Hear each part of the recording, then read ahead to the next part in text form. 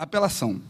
É, eu escolhi para falar dos temas mais importantes, até porque a apelação é um recurso milenar e não adianta ficar falando aquilo que nós já sabemos. É o, o que importa para a gente entender melhor como é que fica a apelação no novo CPC é ter uma noção de que é, os pronunciamentos judiciais devem ser é, olhados com uma outra perspectiva. Então, durante muito tempo se debateu que é, conceituar a sentença interlocutória pelo seu conteúdo seria o melhor caminho. O legislador foi lá, alterou o, o Código de 73 e nós começamos a vivenciar um, um, um mar de loucuras, porque, na verdade, o que importa na apelação mesmo, para todos os efeitos, é se ela coloca ou não coloca fim ao processo e agora, com esse cumprimento de sentença é, acoplado no processo de conhecimento, se coloca também fim a, é, põe fim à fase é, cognitiva. Bem, então, o que acontece hoje? Não dá realmente para a gente querer analisar a sentença pelo seu conteúdo. Porque a sentença ela vai, obviamente, versar sobre as questões que estão no 485 e o 487, que são, é, na verdade, os novos 267 e 269. Mas o que acontece é que o dispositivo diz que cabe apelação para atacar a sentença, ainda que a sentença contenha alguma daquelas matérias que, via de regra, deveriam ser é, pronunciadas por meio de uma interlocutória. Então, se na sentença o juiz concede uma tutela provisória, se na sentença o juiz revoga, se na sentença o juiz é, exclui um litisconsorte, se na sentença o juiz acaba também, de algum modo, versando sobre a distribuição do ônus da prova, muito embora não seja o local, é, a parte não tem outra saída. Ela vai, efetivamente, ter que apelar. E outro ponto importante é que se a interlocutória versar sobre aquelas matérias que seriam da sentença, eu também não tenho outro caminho. Eu vou ter que entrar com agravo de instrumento. Então, o código toma partido e diz o seguinte: é, não importa o conteúdo, se a decisão colocar fim ao processo, ou a fase cognitiva, nós teremos apelação. E se a decisão, apesar de ter o conteúdo do 485 ou do 487, não colocar fim ao processo, o recurso é de agravo. Então, parece que nós estamos esquecendo o conteúdo e nos preocupando apenas com, a, é, com o efeito de colocar ou não colocar fim à fase cognitiva. Então, não podemos mais falar de sentenças parciais, porque se fossem sentenças parciais, o recurso seria apelação. E o que nós temos, na verdade, são decisões interlocutórias que versam sobre o mérito. Então, esse é o primeiro ponto, eu acho importante. E a forma de conceituar a interlocutória foi bem nítida. Interlocutória é toda decisão que não é sentença. Não importa o conteúdo, não importa, é, na verdade, o que, que ela delibera. O que vai valer mesmo é se ela coloca ou não fim ao processo. Bem, é, outro ponto importante é que o novo CPC acaba com aquela é, regrinha que Buzaide defendeu com tanto carinho, que era o princípio da correspondência, da sentença, apelação, da interlocutória, agravo na modalidade de instrumento retido. Porque o CPC ele acaba permitindo que decisões interlocutórias não agraváveis sejam impugnadas por apelação. E aqui eu vou fazer um parêntese o Pedro ele me deu é, algumas orientações e uma dessas foi não fale sobre o cabimento da, da, da apelação, porque eu tratei isso na minha palestra, então vai ficar repetitivo e você não vai conseguir concluir o assunto, até porque eu tenho que falar também sobre embargos. Mas o que é importante saber é que hoje a apelação ela vai atacar não só as sentenças, mas também as decisões interlocutórias não agraváveis. E as as polêmicas que vão surgir nessa modificação, nós iremos debater no painel sobre recursos. Então, já é um convite para quem quiser ficar. Vai ter é, esse painel só sobre os pontos polêmicos dos recursos e, com certeza, nós vamos debater essas é, inovações e essa especificamente da sentença para atacar uma decisão interlocutória não agravável, que é, na verdade, talvez o, no ponto dos recursos ordinários, o, o, é, a mudança mais traumática para o CPC. É isso porque já tem uma, uma, um questionamento muito grande é se essa apelação ela só vai ser possível se ela também atacar a sentença ou se ela pode, independentemente de atacar a sentença ou não, ser utilizada só para atacar uma interlocutória proferida lá atrás que não era, de acordo com 1015, é, agravável. Então, esse é um ponto que a doutrina está é, se debatendo. A gente vê a posição do Fred, vê a posição do Humberto Teodoro, que são posições restritivas, enquanto isso, vê a posição do Alexandre Câmara, que defende que é possível é, apelar só para atacar uma interlocutória, a posição do Pedro Miranda, que também defende essa possibilidade de uma apelação exclusivamente impugnar uma interlocutória não agravável, independentemente da derrota é, na sentença. Então, esse é um ponto muito polêmico e aqui não teria espaço para falar. Bem, além disso, a, a, apelação também nova, ela faz uma, uma revolução e parece que é, a gente é mal acostumado, porque antigamente a lei dizia que a decisão monocrática era a exceção, e todo mundo sabe que ela virou regra. Poucos são os tribunais que levam as suas apelações, os seus agravos para a decisão colegiada. A maioria hoje, os relatores decidem monocraticamente, isso com base no CPC antigo. Por quê? Porque você poderia fundamentar a decisão monocrática dizendo que existia uma jurisprudência dominante. E o Fábio Monerá, que palestrou ontem lá no, no, no, no painel sobre precedentes, ele tem uma frase é, muito comum. O estagiário ele vai buscar a, a, a, jurisprudência dominante. Então ele vai na primeira página do STJ, que tem lá 10 é, emendas, e ele não acha. Aí ele passa a página, mais 10 emendas, ele não acha. Quando chega na quinta página, ele acha uma e pega e bota jurisprudência dominante do STJ. Então, com base nessa pesquisa de horas, ele conseguiu achar uma decisão. Ele colocava na petição como jurisprudência dominante. Mas o estagiário do tribunal também fazia isso. Ele queria decidir de um modo, pesquisava uma jurisprudência dominante, arrumava lá uma, porque a gente sabe que hoje em dia tem decisão para todo gosto, e fundamentava o 557 e decidia monocraticamente. Então, era uma exceção, mas fazia-se regra. O novo CPC coloca a decisão monocrática muito abertamente como uma regra. O juiz deve decidir monocraticamente. Só que as hipóteses de decisão monocrática hoje são muito mais restritivas. Então, uma regra vai passar a ser exceção. Porque o relator do recurso, ou da apelação, ou do, do, do agravo, ou da, do próprio embargo de declaração, não vai poder mais decidir monocraticamente ao seu bel prazer, escolhendo, pensando a, a, a jurisprudência dominante, porque agora só se for súmula de STJ, STF ou do próprio tribunal, recurso especial, recurso extraordinário repetitivo, incidente de resolução de demandas repetitivas e o IAC, que é o incidente de assunção de competência. Fora dessas hipóteses, não pode decidir monocraticamente. É claro, ele ainda pode, é, se o recurso for inadmissível, se o recurso estiver de algum modo prejudicado, ou se o recurso violar o princípio da dialeticidade, não impugnar de forma especificada as razões é, de decidir. Isso aí é, obviamente, que toca diretamente o que o, que o Júlio acabou de falar, que na hora de impugnar também, o apelante, o embargante, o agravante tem que fazer o quê? Tem que fazer uma apelação voltada para o caso concreto, atacando efetivamente a decisão e não com conceitos indeterminados, daquele jeito que a gente consegue, conhece bem.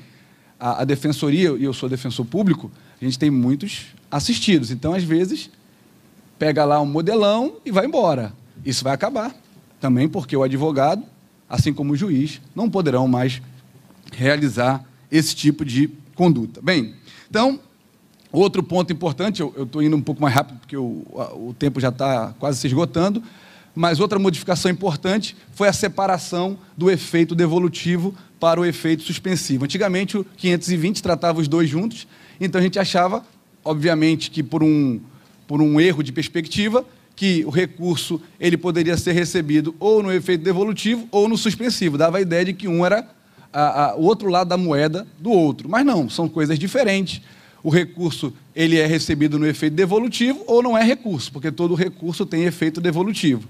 E o recurso pode ser recebido com efeito suspensivo ou pode ser recebido sem esse efeito. Então, são coisas diferentes. O 1012 trata de um assunto, o 1013 trata de outro. O, o legislador separou bem.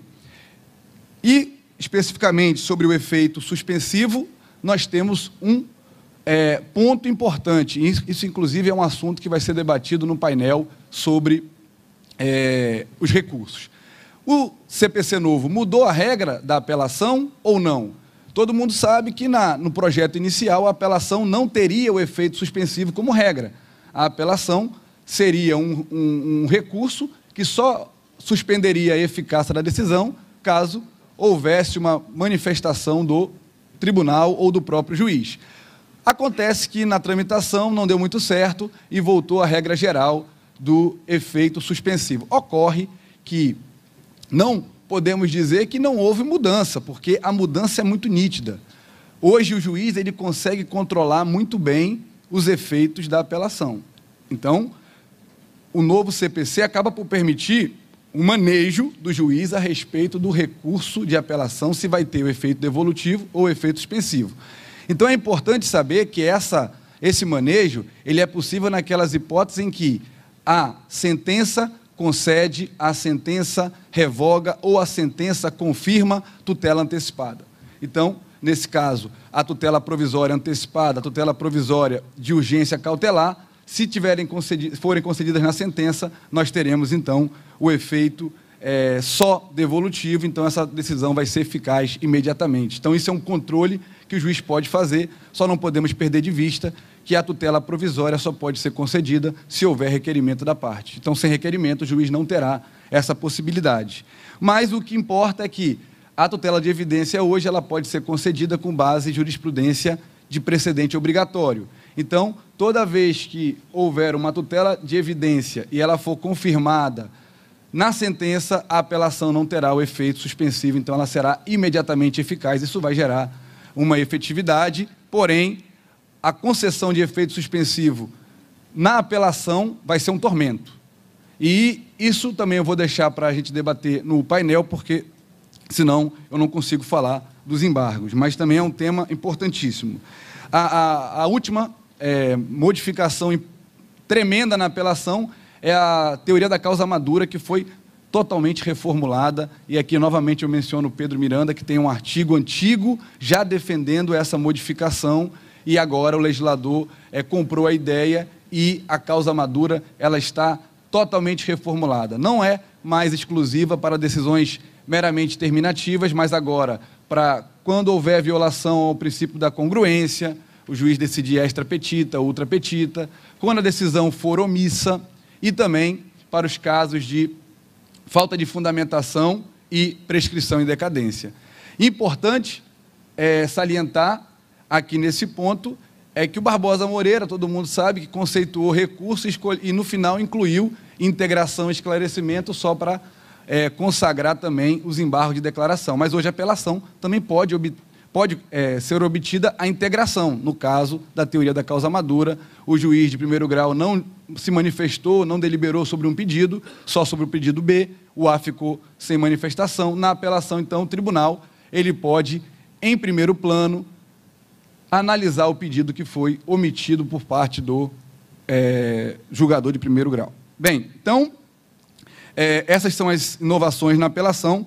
Agora eu vou ficar é, com os embargos, até porque os embargos, é, na, na verdade, foi o recurso que mais sofreu modificação. Então, com relação aos embargos, há uma manifestação expressa de que ele cabe de qualquer decisão, isso já estava consagrado na doutrina, mas o CPC deixa isso claro: acórdão, interlocutória, é, sentenças, no, decisões monocráticas de tribunal, todas são é, embargáveis e para que isso aconteça, basta a presença dos vícios. E esses vícios também foram ampliados. Eu tenho o esclarecimento de uma contradição, é, o esclarecimento de uma obscuridade, a eliminação de uma contradição, a integração de uma omissão e erro material. Passa, então, a figurar de forma expressa agora o erro material como causa dos embargos de declaração. E um ponto importante é que existe uma presunção absoluta de omissão quando o julgador deixar de se manifestar sobre um precedente obrigatório, então a decisão é omissa se ele não se manifestar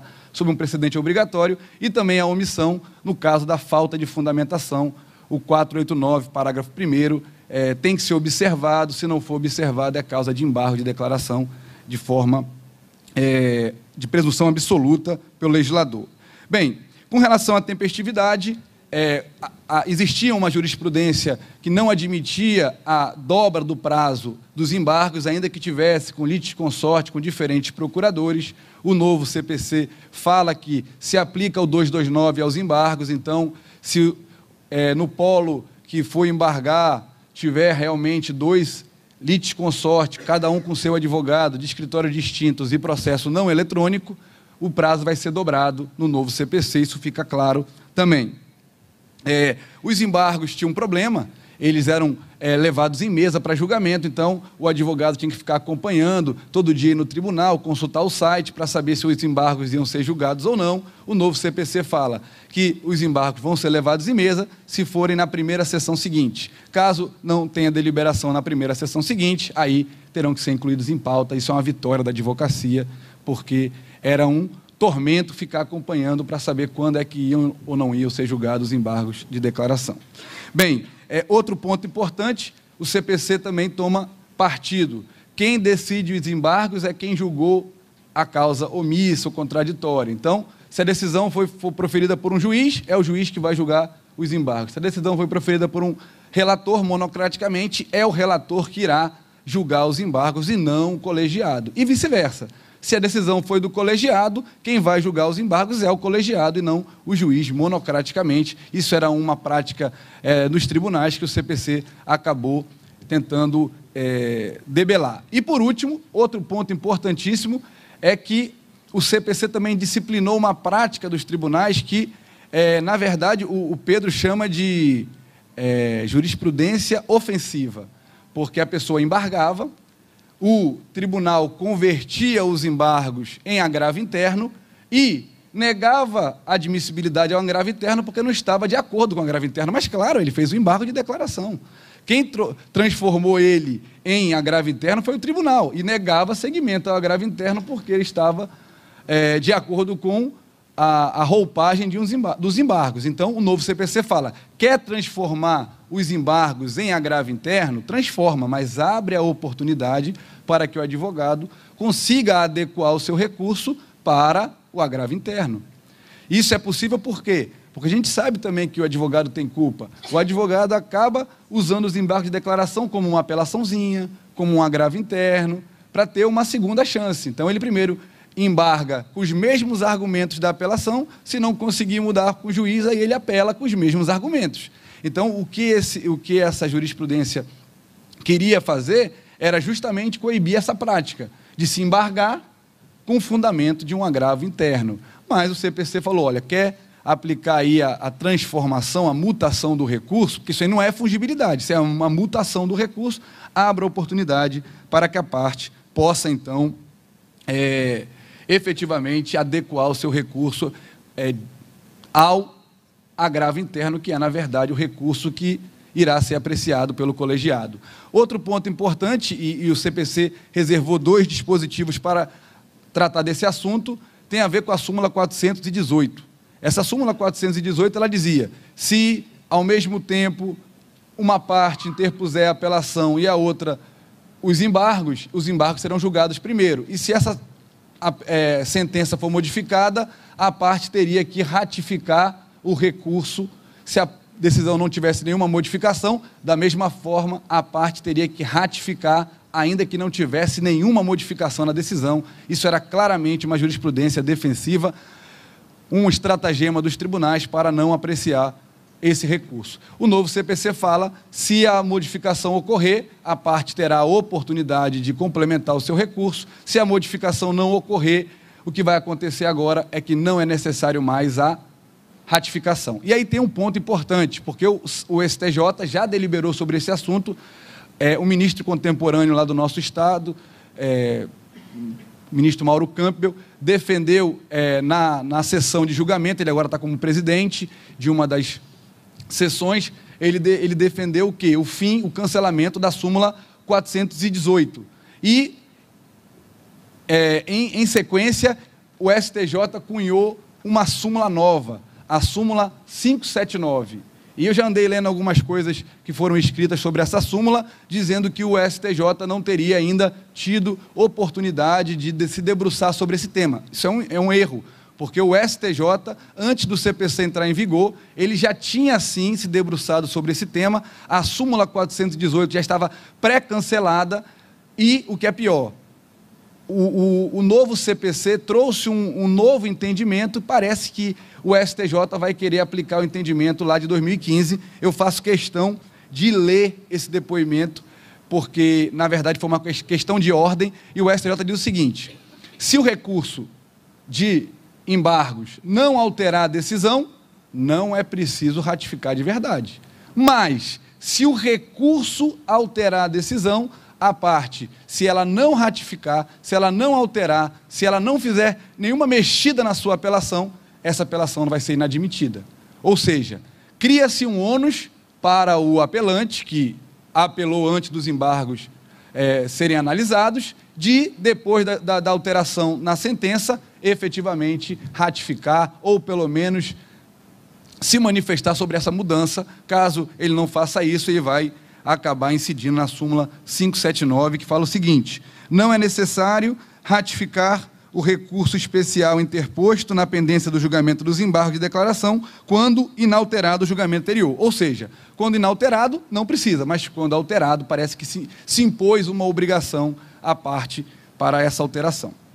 Bem, é, é, já agora na, na reta final, os embargos de declaração intempestivo não vão produzir nenhum efeito, e o efeito que os embargos produzem é interromper o prazo para os recursos subsequentes, isso é um ponto importante. É, essa interrupção agora, ela deixa de ser exclusiva do procedimento comum. O CPC novo alterou a lei dos juizados especiais, lá dizia suspensão, e agora o CPC novo unificou. Os embargos, então eles vão interromper o prazo para os demais recursos, tanto no procedimento comum como também nos juizados especiais. Esse é um ponto importantíssimo também. E é, o efeito suspensivo também é uma polêmica é muito grande desde a da, da concepção original do Código de 73, se esses embargos suspendiam ou não suspendiam a decisão. O Código fala que não, que não suspendem a decisão, mas é possível a obtenção do efeito suspensivo nos embargos perante o próprio juiz que irá julgá-los.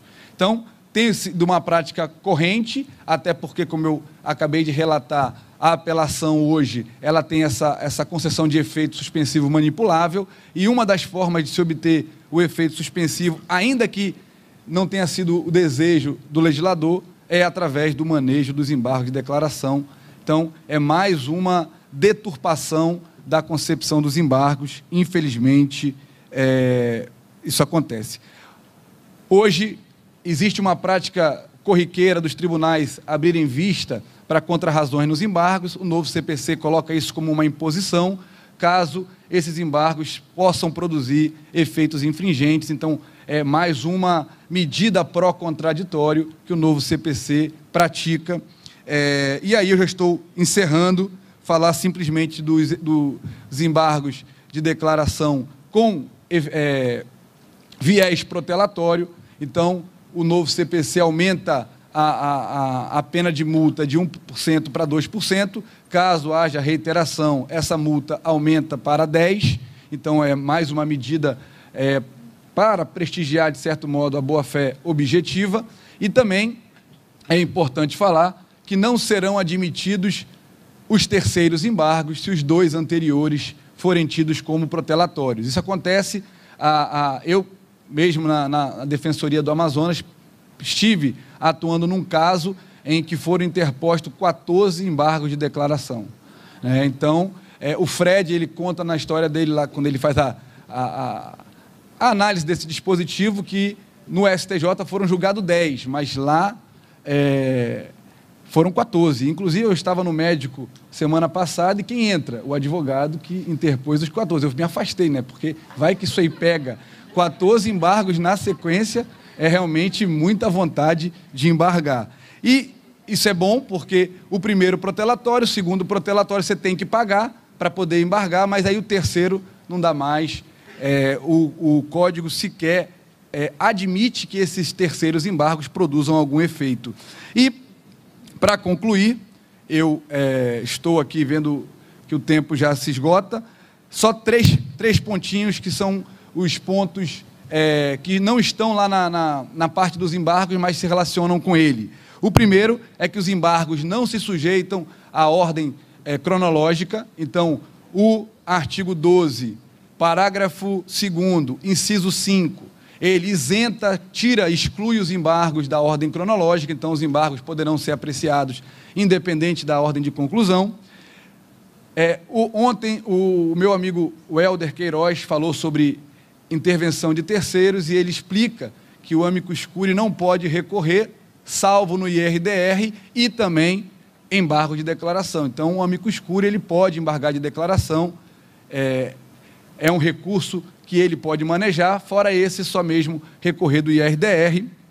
E, por fim, é, o legislador, e aí eu deixei esse tema que é o mais polêmico, ele procurou, de algum modo, acabar com aquela dúvida a respeito do pré-questionamento. Então, pré-questionamento implícito, explícito, ficto, não ficto, presumido. Então, o novo CPC fala: se a pessoa, se é o advogado embargar de declaração para suscitar temas que não foram apreciados e esses embargos forem inadmitidos, esses temas que foram suscitados serão incluídos ou tidos como incluídos nos embargos, caso o tribunal entenda que houve, na verdade, omissão, erro é, na hora do juiz apreciar ou do tribunal apreciar. Então, é, alguns autores já começaram a defender que esse dispositivo seria inconstitucional, porque ele alteraria, de certa forma, o cabimento dos recursos excepcionais.